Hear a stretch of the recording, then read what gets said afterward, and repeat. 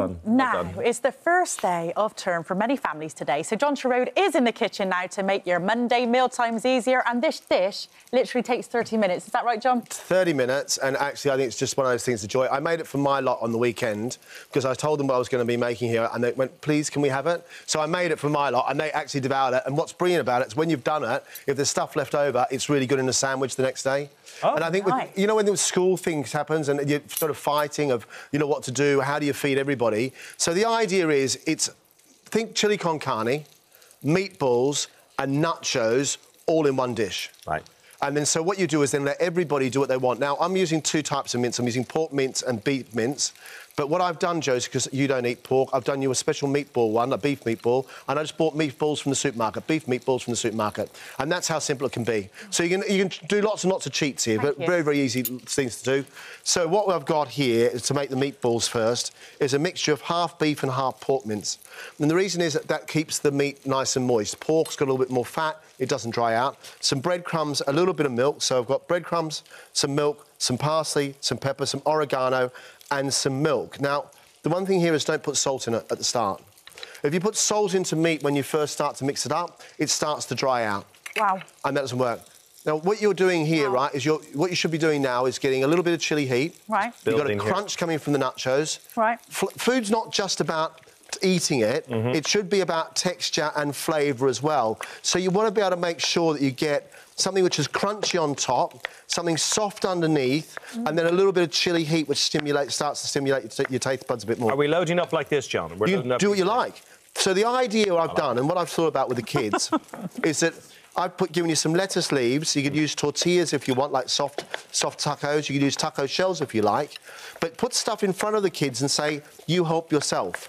Because what we've got in here is we've got our meatballs, and we're going to put some beans in here as well and some tomatoes. So you've got a bit of veg, and you can put carrots in if you wanted to. Put stuff in there so that you know you've got more veg in, that's fine. Now, to make the meatballs, simple way to make a meatball. And you sort of do it like a system. You take a spoon, and you take a little spoon, and you just take a little bit of mixture and put it on a board. Don't roll them just yet, because what you want to do is you don't want a meatball to be hard and solid. It has to be soft, otherwise it goes too dense. So you do that first. So those there, I'm just going to move these out of the way. John, and then- so spicy. They're yum. a little bit of spice Yeah. to it. Then just pick them up and just gently roll them. Don't roll them too much, because otherwise they will go dense and hard, and you don't want them to be dense and hard. Once you've rolled all your meatballs out, you then start to sear them into a pan. A little bit of oil into a pan, and I've got mine coming away here. So there's our first lot of mix. Now that's going to take you about five minutes to get that sorted out. I'm going to wash my hands, so I've So used raw delicious meat. when you put a bit of sour cream and all that. It's just yum. I like Yeah. picky stuff. Mm. I, like, I like it when you can pick and then add your own. Mm. And I think a lot of people like picky things, and that's Yeah. the thing, especially when you've got kids coming from school and stuff. Now, to next lot is into the pan with the, I've got meatballs now, which are sealed there, and you see there's all that lovely flavour left in the bottom of the pan. You want to keep that. Garlic, so don't do it in a separate pan. Do it in the same pan. A bit of paprika to give it a bit of spice. A little bit of chilli to go in there as well. And this is when you season them. Put the salt across the top now, otherwise they say it will dry it out. And then to that, I'm going to add a tin of red kidney beans with its juice. Really important. With its juice? Yeah, really important that the juice from the kidney bean goes in because that will thicken your sauce. Otherwise, your sauce won't be thick. Because Okay. now I'm going to put two tins of tomatoes, some stock, and a little bit of water. And what I do is just take the, the stock, rinse out one tin so we don't waste anything. What And then stock would you use then? I just use the stock cube, beef stock cube, and a bit of hot water. So anything you like, chicken stock, veg stock, anything you want. I'm glad you use stock cubes, John. You're not a snob about that. Yeah. You don't- No, listen, you can buy really expensive bags of stock in the supermarket. It'll taste exactly the same. Exactly the same. Once you've done that, you bring that to the boil. Now, once that comes to the boil, then you have the fun bit with it. But what, because you've done the seasoned meatballs and because you've done the tomatoes and everything else in the bottom, everything is ready to go. That's your sort of pot. You could eat that if you wanted to, as it is, but I sort of want to embellish it a little bit. So, take some nacho chips, take a bit of cheese, mix the cheese together. Mix it all up. Put that to one side because we're going to make really make a quick, really quick tomato salsa to go with it. Tomatoes, some coriander, some little um, diced shallots, some lime juice, a little bit of chili. Just put the lime juice in with the tomatoes. No salt again because you put the salt with the tomatoes, it will make them go all soggy and wet. and you've got enough saltiness from your corn chips anyway. Parsley, your shallots. That's shallot. you need to know. Shallot. I know. I tried. Never gets old, that one, does it? I know. Always does. Mix that together. You got yourself a tomato salsa. Oh, that's so fresh and yum. Th- and Yeah, it just really good. Well, then again, we got our veg going with everything, so that's okay. Now,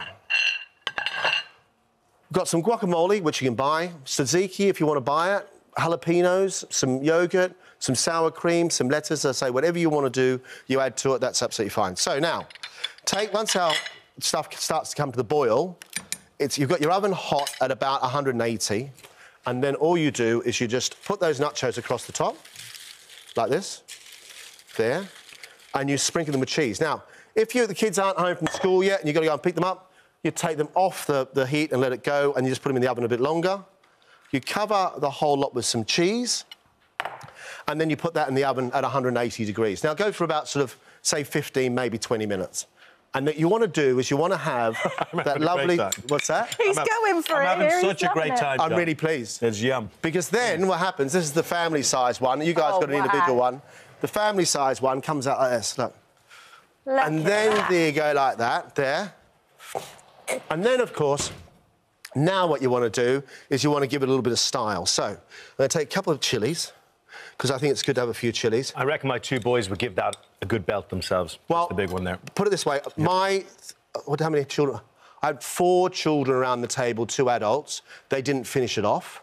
So there's six of us. But the next day ended up being one on toast, one in a sandwich, and one in a wrap. Nice. So that's not bad, is it, for the same? So you've got two meals in one. And actually, what you've got is two packs of mince, two tins of tomato, some um, red kidney beans, and some nacho chips. And you've actually got a really good meal. Yeah. And it's not, you know, it's, it's not fast food and it's not too bad. And it's not too costly. It's well, as we all know, at this time of year, and with kids and stuff, and you want to feed lots of people, you just want to make sure that you know you, you pull your, your, your purse strings and away you go. Yeah. So there you go, nacho bake, meatballs, lots of fun, no salmon sperm, and it's Monday, and we've been to Manchester, Mauritius, we've been all around the world, and now we're here. And your nachos have stayed crispy. You're a legend, John. That's it. That's good. Amazing. Thank you, stuff. John Torode. Thank They're you. absolutely delightful. Thank Thanks, you. John. As are you. So As are you. much fun to eat, and it's Yeah. delicious. Uh, right, for details of today's recipe, you can scan the QR code on your screen right now, which will take you straight to our free This Morning app.